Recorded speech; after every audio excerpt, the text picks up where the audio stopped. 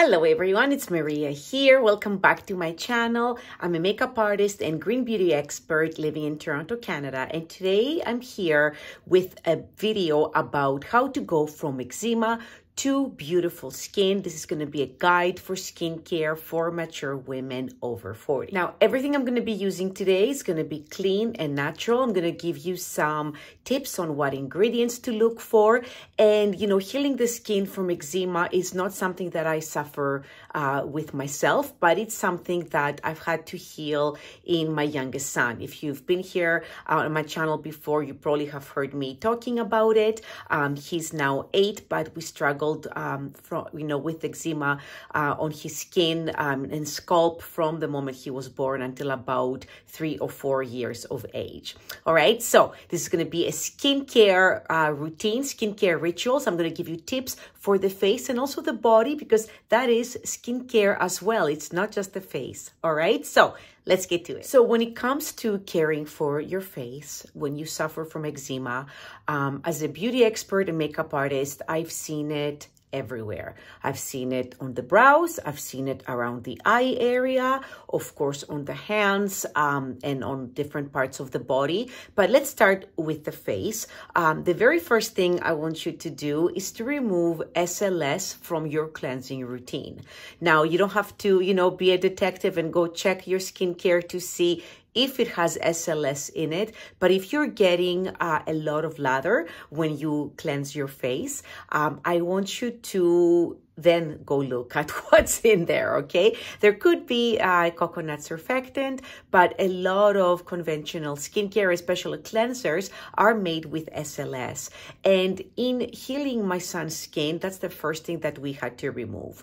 Now, I feel like the whole washing concept with a lot of lather um, and being super duper clean is uh, maybe a North American phenomenon or perhaps a European phenomenon because um, you know, we are so into cleansing. From the moment the baby's uh, born, we want to bathe it in bubble bath and cleanse it. And, you know, that was something that I was kind of a little bit more conscious of because he was my second one who uh, you know suffered with eczema but um you know it's it's something you know about cleansing and over cleansing which i which i think just um, destroys our skin so when it comes to mature skin, I always say this, regardless of whether you have eczema on your face, you have to be very conscious of the cleansing, what you cleanse with, and how often you cleanse your skin.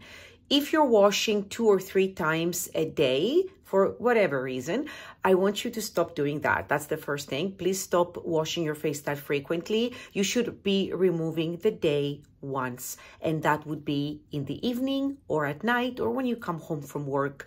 Um, if you feel like you have to do that, I know some of us are still wearing masks uh, when we work, so you might feel like just cleansing and removing everything when you come home. I think that's a, a fantastic time to do it. So, and then the cleanser, right? So now that we're kind of reducing the cleanser, uh, what are you washing your face with? So I want to give you three options here for cleansers because all of us are so different and we have, uh, you know, different textural needs or appeals, I guess. Um, so we have different things that we like. We have different smells, etc. Um, I want you to be, uh, you know, conscious to of the cleanser, uh, how strong the scent is, and I want you to go to something that doesn't lather. So in order to do that, we're going to be talking about three different types of cleansers and three types of uh, cleanse, cleansing, not methods, but okay, cleansing products. We have oil, and this is with uh, tallow. So that would be the oil cleanser that you have to remove with a face cloth. And then you have the oil cleanser. This one here is by Consonant. This one here will come clean, will rinse clean. It will emulsify a tiny bit when you add water to it, but you're not going to get that lather. And yes, my friends, it's going to remove all the makeup. All right. So for those of you who hate the face cloth step, um, a lot of cleansers that come in a balm, they will, you know, require you to use a face cloth. Helena Lane's cleansers, which I talk about often, are the same. This one here is a tallow cleanser. Um, and tallow is something that I talked about in my you know, a couple videos ago or some videos ago. That's the video that went viral. I'm going to link it here for you as well. But uh, cleansing with tallow is such a fantastic experience. Um, if you are a meat eater, okay? If you're not, of course, you have to go to something that's plant-based. So look at Helena Lane's cleansers, which look exactly like that. So that, that would be like a botanical based. But with that, you're using, um, you know, just kind of like really uh, holistic ingredients, very gentle, massaging everything. And that's really going to help with eczema. Tallow is one of those holistic ingredients that is fantastic for eczema, not just to cleanse with, but also to apply as a, as a balm. I'll talk about that a little bit um, later when we come to moisturizing. Um, this one here also contains organic chamomile flowers. Again, very soothing. And when you choose tallow, I want you to pay attention and make sure that your tallow is grass fed. All right. So this is the pristine uh, uh, tallow. It's a cleansing butter um, by Eternal uh, Tallow in Manitoba here in Canada this has to be removed with a face cloth, okay? If you don't like the face cloth step, I want you to go to an oil cleanser that can be uh, rinsed off, all right? So this one, as a makeup artist, this one here is fantastic. Uh, it will remove uh, all your makeup, which I know sometimes when you have eczema, you know you want to be cleansing your skin, you have to. You have to remove the day. You have to wear the makeup if you're a makeup wearer.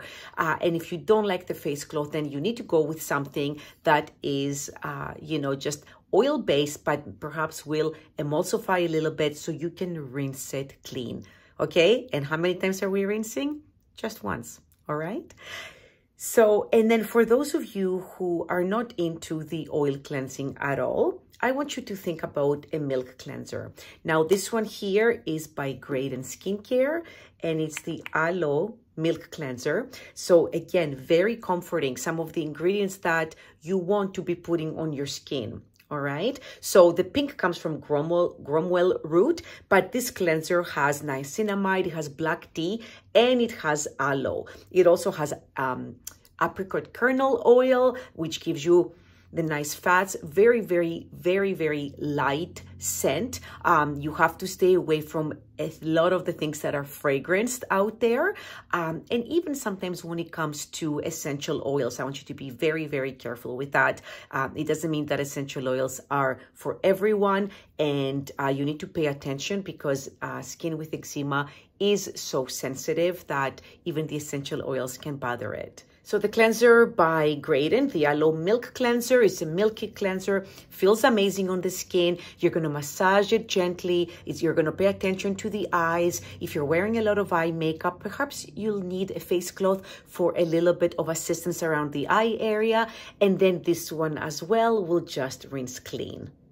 Now, when it comes to uh, keeping the skin comfortable, hydrated, and moisturized, if you are a lover of the mists, you can bring in a mist. I love this one here by Graydon. This is the Face Food Mineral Mist because a lot of the minerals that it contains can actually be fantastic for eczema. So it contains zinc, it contains magnesium, it contains silver. So um, a beautiful mist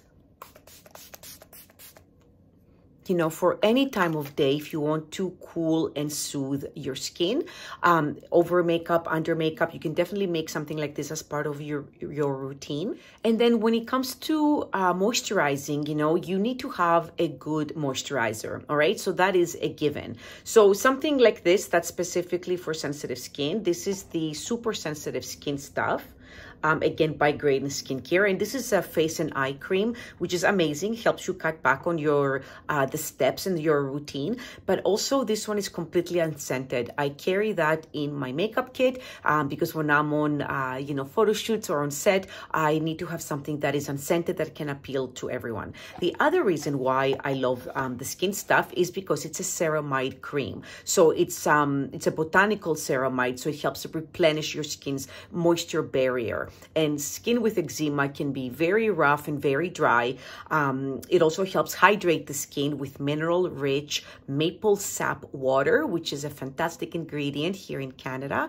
Um, it also contains rosehip oil, so it's giving you some of those vitamins, the A, the B, and the E and it also contains uh, evening primrose oil. So again, back to those kind of like fatty, uh, the fatty acids. Now this moisturizer does feel lighter. Um, so, and I think it's wonderful for everyone to use. Um, again, depending on where you live. So this one like really nicely absorbed. Um, doesn't smell like anything, but it smells pleasant from the botanicals that are in there.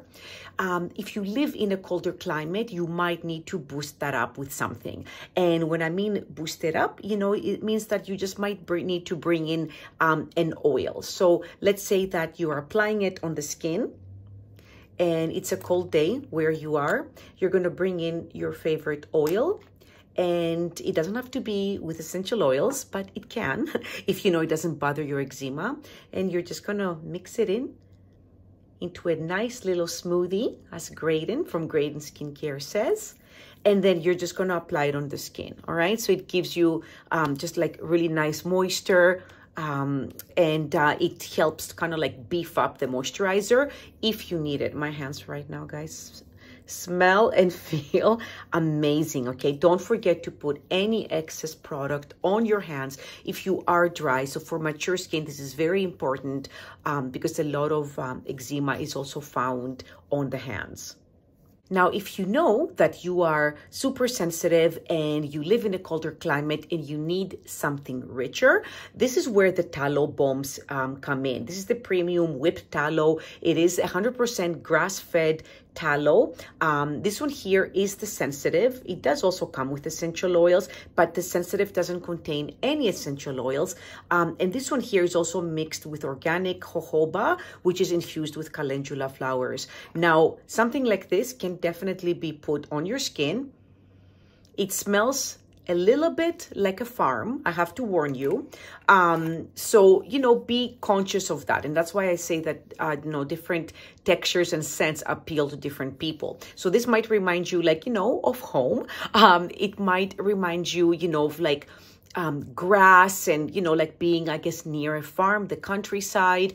Um, but I can't stop talking about how many amazing benefits are in tallow. So the whipped tallows, I find are easier for application on the face.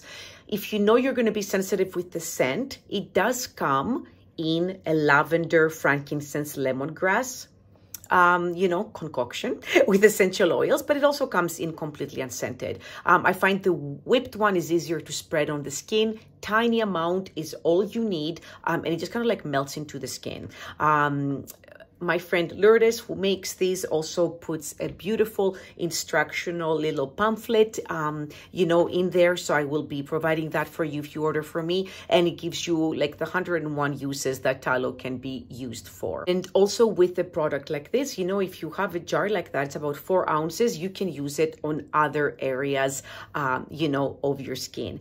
The, the one thing I didn't mention, and um, I apologize about that is when we go, you know, uh, back to the cleansing, there are also tallow soaps that you can use to wash your face. I was going to save this for the body, but you know what? Like, you know, I'm very practical and minimalist. So if the soap works for your hands and your body, why not use it on your face as well? Again, 100% grass-fed tallow for this one. And the third focus that I want to draw when we get to the skin is a little bit more ingredient-based, but of course it has to do with um, eczema and skincare. So the third tip would be try to bring in some zinc oxide. Um, the butters that I, have you know, like uh, noted here are amazing. Uh, this is ancestral skincare. Uh, the tallow butters um, are ancestral skincare. They've been used forever and they are for all types of skin concerns. But when it comes to, you know, using a sun cream or maybe using a little bit of an eye cream because I've seen eczema around the eye area, like up here. Um, it can be very difficult also for um, eye makeup application. The Consonant Firming Cream, this is a zinc oxide eye cream. So it helps to brighten, yes, the under eye area, but it also, um, you know, would help, will help definitely with eczema. So zinc oxide is in diaper uh, rash creams. There's a reason for that. Very soothing, very, um, you know, calming for the skin. Uh, so if you need an eye cream or you know that your eczema is specifically around here, bring in a zinc oxide eye cream. And the other area for the zinc oxide would be in a sun cream. All right. So you know that most, um, you know, uh, mineral sunscreens now, of course, contain the zinc oxide. I want to say that a lot of them are very, very whitening. And I want to give you a little demo on the Helena Lane uh, sun creams, which contain zinc oxide. Uh, these ones here are 81% organic, so they're made with organic ingredients. And the reason why you want to have something richer like this with zinc oxide, but also because they're made with shea butter. Okay, so shea butter was one of the key players when we were healing my son's uh, skin. So you definitely want to have something a little bit richer. So, you know, when we did the step with the moisturizer, if you have a lighter moisturizer and you're also an outdoor person, you might want to bring in a sun cream that contains not only the zinc oxide, but it contains the shea butter, like the Helena Lane sun creams. And of course, on top of that, it's going to protect you and, uh, you know, from the sun and the elements. So the Helena Lane uh, sun creams, there's two of them. This one here is the chamomile and calendula. This sun cream is unscented. So I want to show you a little goes a long way. And I want to show you just how nicely it melts into the skin. All right. So remember about a quarter of a teaspoon to half a teaspoon for your whole face, ears, and neck. Um, and do you see that? Undetectable, right? So it's really, really nice because when, when you make these things out of shea butter and plant oils, they do melt into the skin. I find that a lot of zinc oxide products are very drying. And although they do help your eczema, we're also talking about mature skin and mature skin has also other needs, right? It needs to be moisturized. It needs to be protected. So the sun creams are um, made with shea butter, jojoba oil, and the jojoba oil is is infused with calendula and chamomile flowers. It's also um, made with avocado and beeswax. So this is not vegan. And that's what kind of like really helps it kind of, you know, smooth it in. Beeswax is an amazing ingredient, again, for uh, dry, rough, you know, eczema um, skin. So uh, definitely bring in something like this, a little bit of a thicker layer, something more occlusive. If you're not someone who spends time in the sun, or goes outside, uh, you know, and you're using a lighter moisturizer, you can bring in an oil uh, to kind of seal everything with. That would be the third step, right? To uh, to sorry to soothe and kind of create a more occlusive barrier. So you could use something unscented like this. This is the rose hip and calendula. This is the calming facial oil. That could be your last step. Or if you know that your moisturizer is perfect for the other times of the year, but not in the winter, why don't you uh, massage a bit of tallow balm in the middle, you know, in between your hands and press that onto your skin to put on another like richer, more occlusive barrier that will help trap all that moisture uh, from your skincare onto your skin. So now let's move to the body. This one is huge when it comes to eczema. Um, back to the bathing, right? The bathing, the long hot showers, long time in the tub. Um, this has to do, of course, with mature skin. It's going to dry you out, but also your babies. Don't do that, okay? The long baths you need to you need to do something about that so i'm going to tell you what you're going to do all right so um, you're going to put something in that bath water all right so i talked about um, making an oatmeal pact back in my holistic uh, ingredient video. Super easy to do. You just kind of uh, take some cheesecloth, throw your oats in there, bundle it up, uh, you know, tie it on top with a little rubber band, throw it in your tub okay? Um, you can do that for your baby. You can do that for yourself. Put something in there that's nourishing. The other thing that you need to do is have a really nice body oil. My son is eight and I still put body oils into his bathtub. You can start out with something that you have in your kitchen. Avocado would be great. Olive is great too. A little bit richer and a little bit thicker. So a little bit more difficult to clean from your bathtub. Um, you want to do those things. You want to nourish your skin. You want to, you know, protect yourself while you're in the water, but you also have to think a little bit about the cleaning process um, because the person going in there after you, once you've drained it, it's going to be an oil slick, my friends. So um, do a little bit of an oil. I really love this one here by Provence Apothecary. This is the lover's oil. Please ignore the fact that it's called a lover's oil. Yes, it's perfect for gifting. Valentine's Day is around the corner. I love this one here. It's rose and cedar wood very warm grounding smell. And the reason why i love it is because of course you can do a kind a little few little drops in your bath water but you can also apply it to your skin the minute you step out. Think about the towel. Think how rough you are with it. I remind people about that for their skin as well. You have to be just so gentle when you uh you know take the water off your skin and it's the same thing with your body. You are going to put some oil in your bath. You can do an oatmeal pack. And then when you come out of the bath, right, you're going to pat your skin dry with a towel and then do a body oil. I love this one here by Provence Apothecary. There's a few other ones um, in the store that I have, but find something that you love and you know that you're gonna apply, all right? So the first thing would be remove um, SLS from your, uh, your routine, face and body. And we talked about the tallow soap. You can use the tallow soap to wash your hands if that's where the eczema is to wash your body. Um, goat's milk uh, soap is also amazing.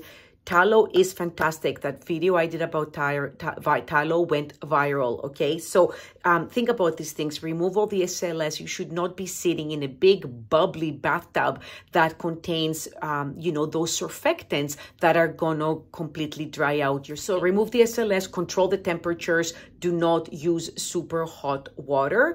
Um, even if you're going to sit in the bathtub, it has to be, you know, like not super hot. You know, when you when you're going in there and then you come out and you you look like a lobster, okay, don't do that. Your skin shouldn't be red. And then add, the second thing would be add the oils and an oatmeal pack into your bath. The third thing, yeah, when you come out is the moisturization, okay? So the body oil can be used in the tub and out of the tub. Um, tallow butter, again, fantastic for a body moisturizer, especially if you're a little bit more sensitive with how it smells. So, um, you know, pay attention to that and, uh, you know, try and choose a product that is actually multi-purpose. Tallow, the tallow balms, uh, the tallow butters can be used everywhere on the body and on the face as well. When it comes to uh, zinc or protection, you know, you could get um, like a diaper rash cream that will help you out. Um, and if you want to do something like, you know, with sun protection, then something like Helena Lane's uh, cream is amazing. Also in the store, is another product by um, Eternal Tallow, and she has now created a tallow and zinc oxide cream. I'm going to link everything for you below with little explanations so when you're reading through it, um, you can understand what to get and what it was that I was talking about. Sometimes we see these long descriptions and then it's just, you know, just the word the name of the product and then the link. And um, we forget what it was exactly that we needed or wanted that product for. So i'm going to link everything uh, for you below. But keep in mind that pretty much the way that you treat your face is going to be the way you treat your, bo your body. When we're talking about uh, skin over 40 mature skin uh, it starts to show elsewhere. We are not just this. You are not just your face. And when you are struggling with eczema you, you want to take care of that everywhere. I understand it can be difficult when you have eczema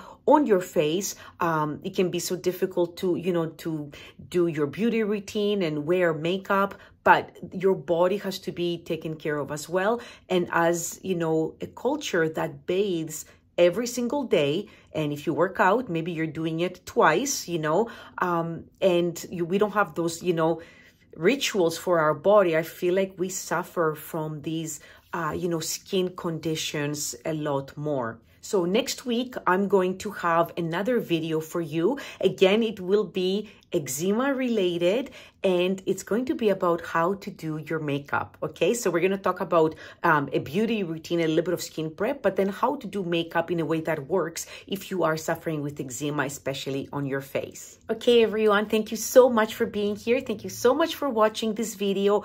Please let me know how your skin does if you try any of these tips that i recommended. Thank you so much for watching. Please give the video a thumbs up if you found it useful and i'll catch you here next week. Bye bye.